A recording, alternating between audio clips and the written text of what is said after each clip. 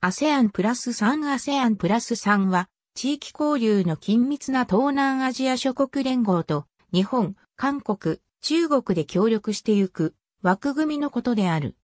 1997年にアジア通貨危機を契機に東アジアが地域協力をしていくために1997年の ASEAN 首脳会議に日、中、韓の首脳が招待される形で始まった。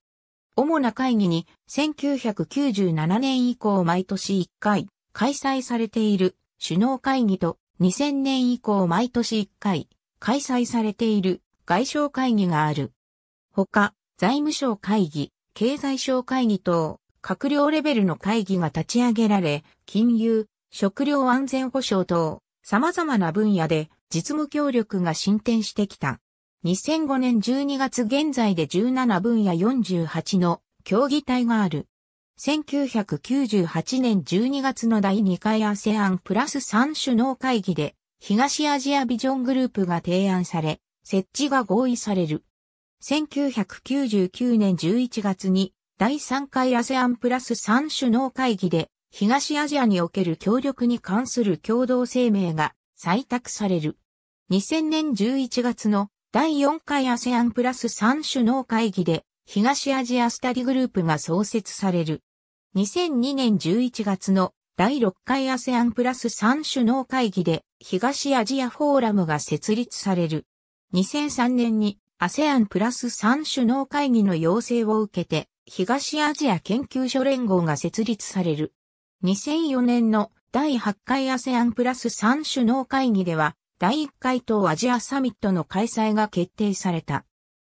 2005年に12月12日にマレーシアクアラルンプールで行われた第9回 ASEAN プラス3首脳会議で ASEAN プラス3が東アジア共同体を達成するための主要な手段であること、また、この枠組みが地域の他のフォーラム及びプロセスと補完的な形で地域枠組み全体の不可分の一部を形成することを確認、ASEAN プラス3の10周年にあたる2007年に東アジア協力に関する第2共同声明を作成するための作業を開始することに合意されたことがクアラルンプール宣言によって明らかにされた。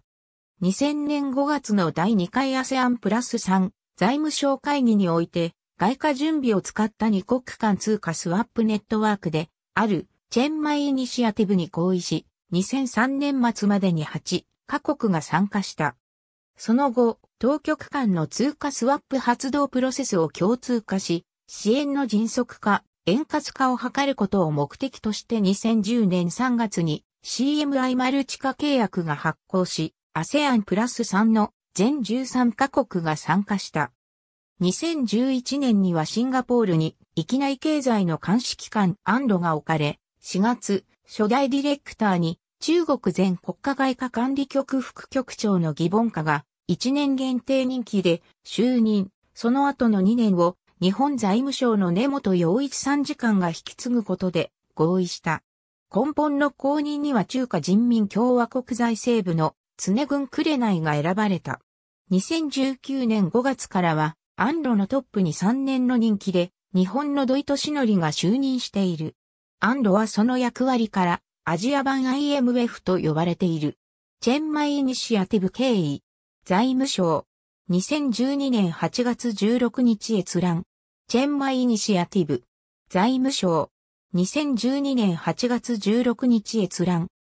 Director ASEAN Plus 3 Macroeconomic and Research Office ASEAN 公式サイトアジアの経済監視機関初代トップに中国、魏氏朝日新聞2011年4月24日、 AMRO 次期トップに中国財政省の常軍紅氏、産経新聞2016年5月4日 ASEAN プラス3マクロ経済リサーチオフィスアジア版 IMF 発足へ ASEAN 日中韓の組織年内にも国際機関に産経新聞2015年10月22日。ありがとうございます。